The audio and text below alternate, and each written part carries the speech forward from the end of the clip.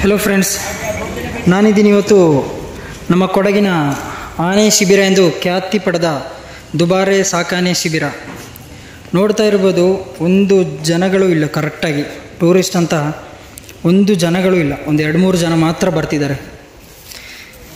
ನೋಡ್ತಾ ಇರ್ಬೋದು ನೀವು, ಏನಕ್ಕಂದರೆ ವೀಕೆಂಡ್ ಟೈಮು ಆ್ಯಂಡ್ ಈ ಟೈಮ್ ಫಸ್ಟ್ ಟಿಕೆಟ್ ಬಂದ್ಬಿಟ್ಟು ಇಲ್ಲಿ ಬೋಟಿಂಗ್ಗೆ ಐವತ್ತು ರೂಪಾಯಿ ಮತ್ತು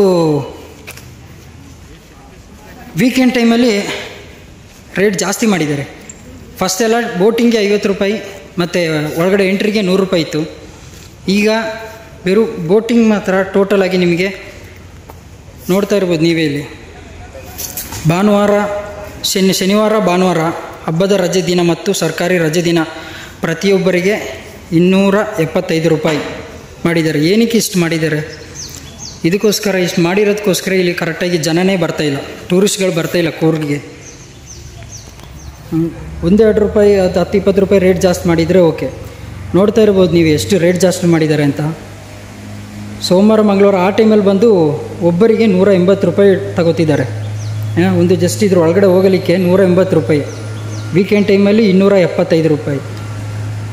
ಏನಕ್ಕೆ ಇಷ್ಟು ರೇಟ್ ಜಾಸ್ತಿ ಮಾಡಬೇಕು? ಕರೆಕ್ಟಾಗಿ ಟೂರಿಸ್ಟೇ ಇಲ್ಲ ನಮ್ಮ ಕೊಡಗಿನ ದುಬಾರೆ ಎಲಿಫೆಂಟ್ ಕ್ಯಾಂಪ್ ಹತ್ರ. ಟೂರಿಸ್ಟ್ಗಳಂತೂ ನಮ್ಮ ದುಬಾರೆ, ಕೂರ್ಗಿಗೆ ಟೂರಿಸ್ಟ್ಗಳು ಕಡಿಮೆ ಆಗಿದ್ದಾರೆ, ಆಲ್ಮೋಸ್ಟು. ಇವರು ಸಡನ್ನಾಗಿ ರೈಸ್ ಮಾಡಿದ್ದಾರೆ ಟಿಕೆಟು ಜನ ಕಮ್ಮಿ ಆಗಬೇಕು ಅಂತ. ಜನ ಕಡಿಮೆ ಮಾಡೋಕ್ಕೋಸ್ಕರ ಇವರು ಇಡೀ ಕೂರ್ಗೆಲ್ಲ ಆಲ್ಮೋಸ್ಟು ಟೂರಿಸ್ಟ್ಗಳು ಕಮ್ಮಿ ಆಗಿಬಿಟ್ಟಿದ್ದಾರೆ. ಇದನ್ನು ನೀವು ಆದಷ್ಟು ಶೇರ್ ಮಾಡಿಕೊಡಿ.